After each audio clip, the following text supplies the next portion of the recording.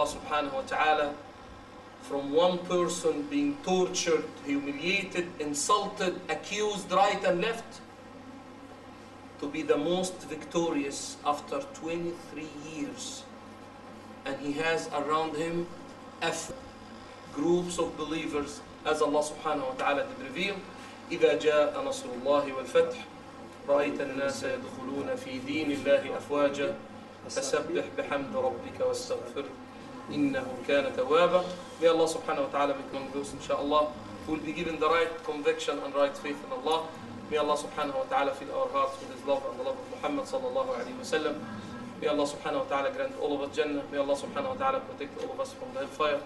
May Allah subhanahu wa ta'ala make all of us among those who are going to be able subhanahu wa ta'ala to make it on the deathbed. طيب ذا لاست ستيتمنت ان ذيس دنيا لا إله إلا الله محمد رسول الله. وصلى الله على سيدنا محمد وعلى آله وصحبه وسلم. وجزاكم الله خيرا.